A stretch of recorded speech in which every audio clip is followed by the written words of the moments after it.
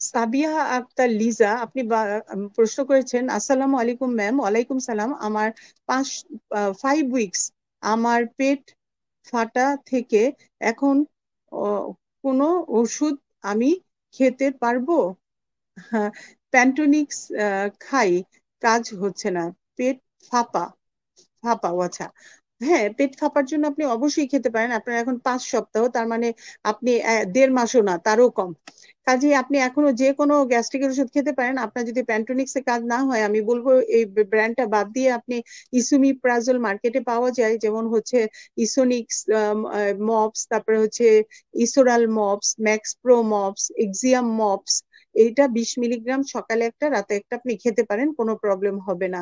আর পেটটা ফাঁপা হচ্ছে, দেখেন আপনার কনস্টিপেশন আছে কিনা, তাছাড়া আপনার ফুড হ্যাবিটটা চেঞ্জ করেন, তাহলেও পেট ফাঁপাটা কমে যাবে। ধন্যবাদ। শম্পা রেজা আমাকে প্রশ্ন করেছেন যে আসসালামু আলাইকুম ম্যাম, আমার আঠাশ সপ্তাহ চলছে। গত তিন মাস যাবত আমার তলপেটে হালকা পিরিয়ডের মতো ব্যথা হয়। ব্যথা উঠলে চার পাঁচ ঘণ্টা থাকছে, আমার ঘুমালে বা রেস্ট নিলে ব্যথা থাকছে না। আমার হালকা ইউরিন ইনফেকশন আছে, করোনার কারণে বাইরে বের হতে পারছি না ম্যাম, এই অবস্থায় কি করণীয়? হালকা ইউরিন ইনফেকশন বলতে কি বুঝাচ্ছেন আমি জানতে চাচ্ছি। আপনার যদি ইউরিনের পাঁচ সেল বেশি থাকে, সেই ক্ষেত্রে আপনার একটা অ্যান্টিবায়োটিকের কোর্স করে ফেলাটাই ভালো।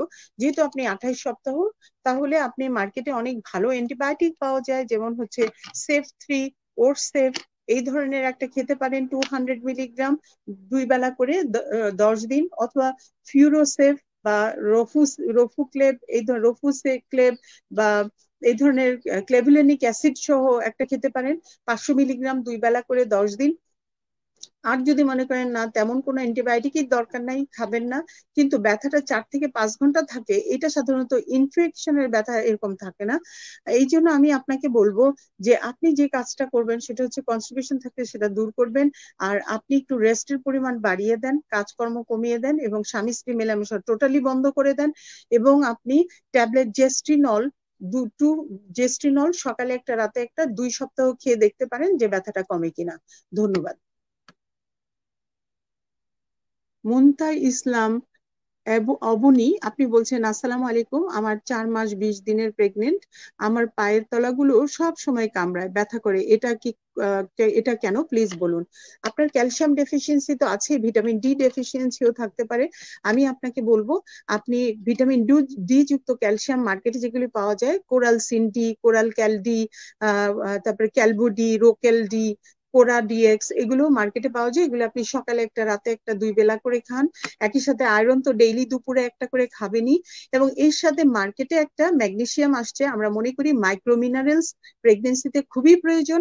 সেই জন্য আপনি যেটা করবেন, আপনি ম্যাগনোস থ্রি সিক্সটি ফাইভ নামে একটা ট্যাবলেট পাওয়া যায়। ম্যাগনোজ থ্রি সিক্সটি ফাইভ মিলিগ্রাম এই ম্যাগনোজটা আপনি ডেইলি একটা করে খান, এটা হচ্ছে ম্যাগনেশিয়াম এতেও কিন্তু মাসেল ক্র্যাম্পিং এবং পায়ের যে ব্যথা, গোড়ালির ব্যথা, এগুলো বেশ কমে যায়।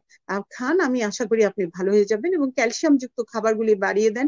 ছোট মাছ খাবেন, দুধ খান, এতে করে আপনি ভালো ফিল করবেন। ধন্যবাদ। আমি আপনাদেরকে অনুরোধ জানাচ্ছি, আপনাদের যদি আমার প্রোগ্রামটা পছন্দ হয়, তাহলে লাইক দিবেন এবং শেয়ার করবেন। এই জন্য শেয়ার করতে বলব, বাংলাদেশের অনেক মেয়ে আছে, সে শুধুই ফেসবুক দেখতে পারে, কিন্তু সে লিখে একটা প্রশ্ন করতে পারে না। আপনার একটা প্রশ্ন যে একটা উত্তর আমি দিব, সেই উত্তরের একটা সুবিধা অন্য একটি মেয়ে যদি পায়, সেই সুবিধাটা আপনার একটা শেয়ারের মাধ্যমে হতে পারে। সেই জন্য আমি আপনাকে বলব, আপনারা একটা লাইক দিবেন এবং একটা প্রোগ্রামটা শেয়ার করবেন। এবং আমাদের এই ফেসবুক প্রোগ্রামে যারা বেস্ট ফ্রেন্ড হয়, তাদেরকে করসেল বাংলাদেশ লাইভ প্রোগ্রামে নিয়ে আসে।